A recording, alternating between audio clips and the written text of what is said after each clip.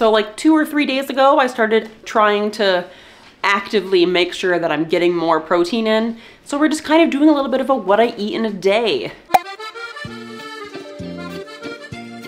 There's nothing too exciting about what I ate this morning, you know?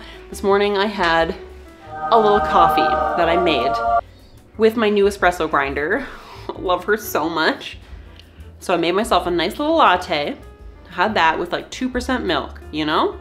Good amount of protein in there. How much is it actually? So I had about one cup of 2% milk in my latte and that's eight grams of protein. So already off to a pretty decent start there, you know? And you get a little coffee fix and I love that so much. So then when I got to work, I mixed up my Caribbean Punch protein and some ice water. And that's just a really nice little little treat, little protein treat to start my day off. And when I first tasted the Caribbean Punch, I didn't like it that much, but it's grown on me and I really enjoy it. So that was mm. another 20 grams of protein.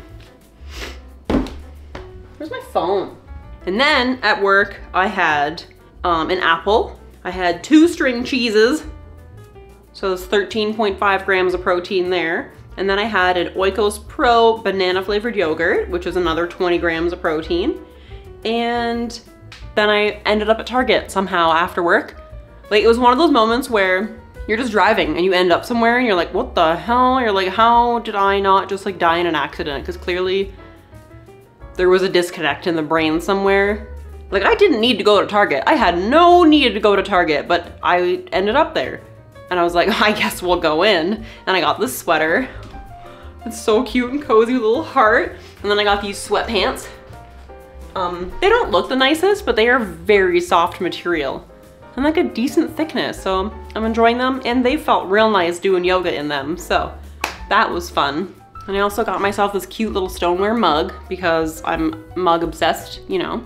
And I liked how wide and flat it was so that I can make fun little like espresso latte art in this cup pretty easily, I think. Don't quote me on that. I'm still not good at it. I'm still practicing. I'm still learning. The steam wand on my machine absolutely sucks. So I'm going to upgrade it and that'll be interesting in and of itself. But anyway, while I was at Target, I just got one of those little like protein pack snack thingies that had like almonds and cheese and turkey in it. Um, love those, they're so salty, so delicious. And that itself had 11 grams of protein, which puts us so far at 72 grams of protein already. And I haven't even had lunch and dinner. And you know what? That's awesome.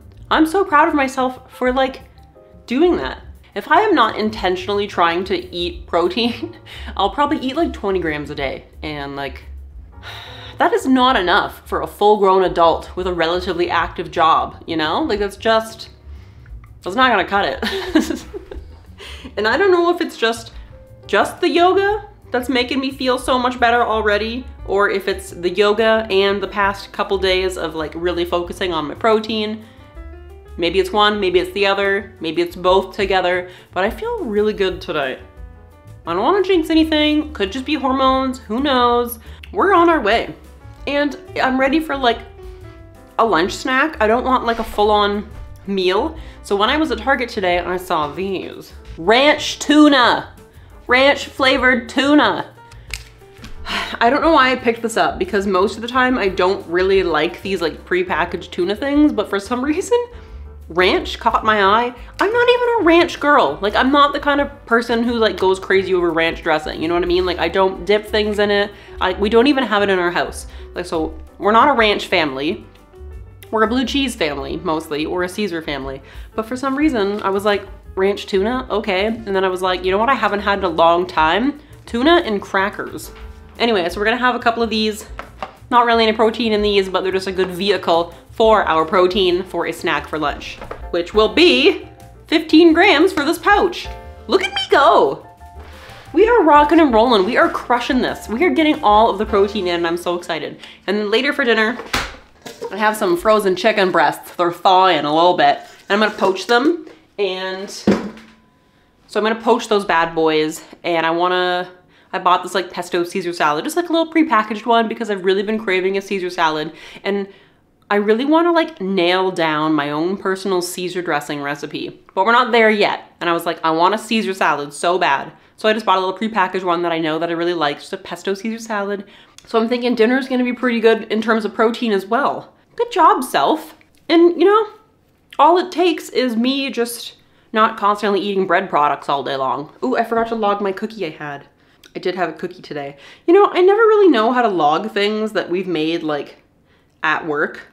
Like we tried out a new chocolate chip cookie recipe just to test it and see how it was gonna be, if it was any different, if the extra work in it was gonna be worth the effort. But like, turns out ours are already better than what we tried. But like, I don't really know how to how to log that kind of thing, so I just I just guessed. So let's have some tuna creations. Oh! How do I eat this? What do I do? Do I like put it in a bowl and then just like dunk? Like, we went ahead and rustled up some tangy buttermilk, garlic, choice herbs, and premium tuna and lassoed them together for one mighty tasty protein-packed pouch. So go ahead and give a giddy up to your lunch. Whether you're on horseback or in back-to-back -back meetings, just tear, eat, and go. So, okay. We're gonna have some crackers and tuna. What's a serving of these? Five crackers? Bullshit, we're having double. We're doing two. I'm gonna have at least 10 crackers for this entire pouch of tuna? Get real. I wonder who comes up with serving sizes. And let's just open up our little tuna pouch here.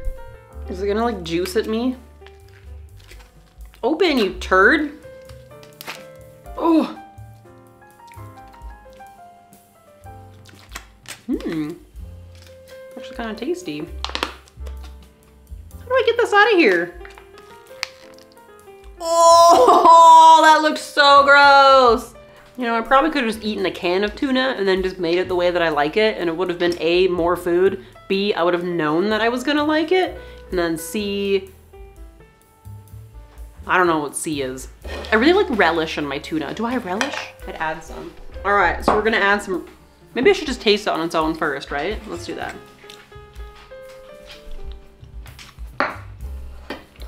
Yeah, tastes good but I'm a relish girl. Give me some sweet relish. And normally we do sriracha. However, we all know there's a sriracha shortage, so regular boring old hot sauce will do. I was kind of sad today because I, we're trying out a new bread recipe for, we do like a special bread usually every day of the week. And we're trying to figure out a new one to start doing. And I did like a test batch and they didn't really turn out the way that I was expecting them to. And I was really sad because I was just like 10 wasted loaves of like bread. Like they were edible, but we didn't want to sell them, you know, because they're not what we want them to be. They were a little underdeveloped in terms of gluten, so they had a little air bubble on top. The crumb was really tight. they were really salty and they were supposed to be sweet, so I don't know what happened there. Uh, maybe I messed something up, but the ratios seemed fine in the recipe, but I was just like sad, you know, because I like to make things that are good and not things that are bad. And then when those all turned out horribly, I was like, well, that's upsetting. But I'm gonna try again. I'm make a tiny batch of just two loaves and we'll redo it and we'll see how that turns out. Hopefully, hopefully it'll be better. We want them to be a little sweeter, more cardamom in the bread. We'll see. Cheers.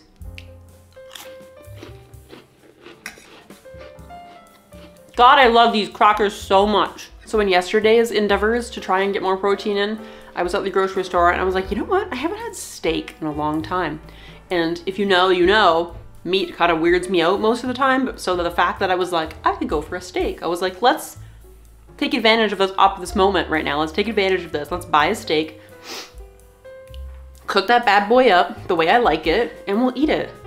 And I was like, all right, cool, let's do this. So I did it and then I was eating it and halfway through I got weirded out and I had to stop eating it. so most of it just went to Grant. But I tried and now there's another steak in the fridge that I will probably just make for him. Like I, it's just has to be such a specific way for me to not get weirded out by it. As soon as there is like an, any hint of like a fatty spot in the texture, get it out of my mouth. I can't, I can no longer continue eating this steak. The moment that it is no longer hot, I cannot eat it anymore. Like it's just, it's too, it's too much, you know? It's too fussy, so why would I even bother when I have tuna, which is a delicious protein source as well, and doesn't freak me out.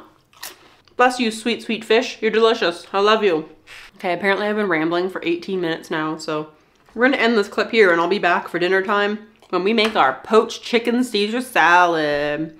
It's a chicken salad. It's the chicken salad. Do you guys remember that meme? A chicken salad. Am I doing it right?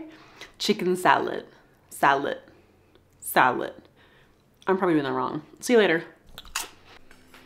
My poached chicken is done. Maybe it's a little overdone. Now I just have to let it cool down. We can shred it and make a salad. In the meantime, I'm gonna play around with my espresso grinder. I can't drink the espresso that I'm playing with right now, but it's fun. So it's ready for the morning, you know?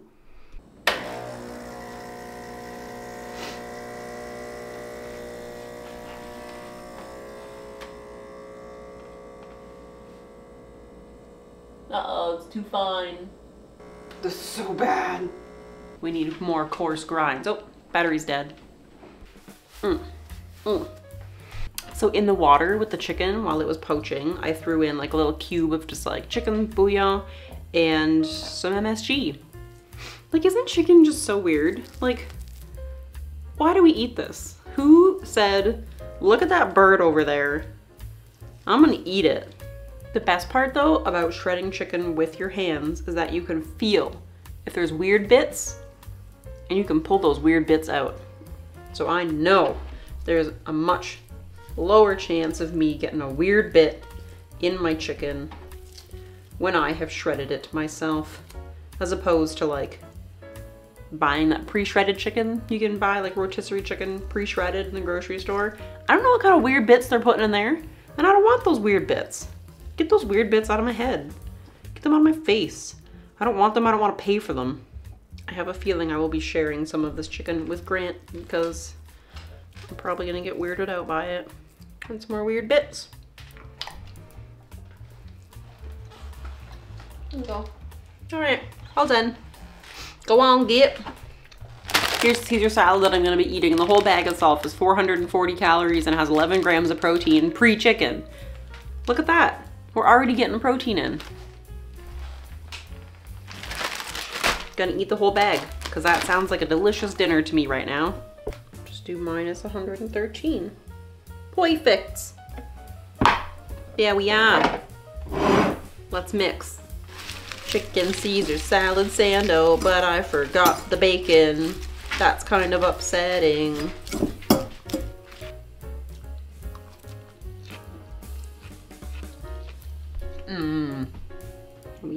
113 grams, which is another 34 grams of protein. And that brings us, my dudes, to a total of 124 grams of protein today, which is probably more than my poor body has seen in months. And it's delicious. Everything I ate today was so good. And now I think I have earned sitting down on the couch and watching YouTube for a little bit. So that's what I'm gonna go do.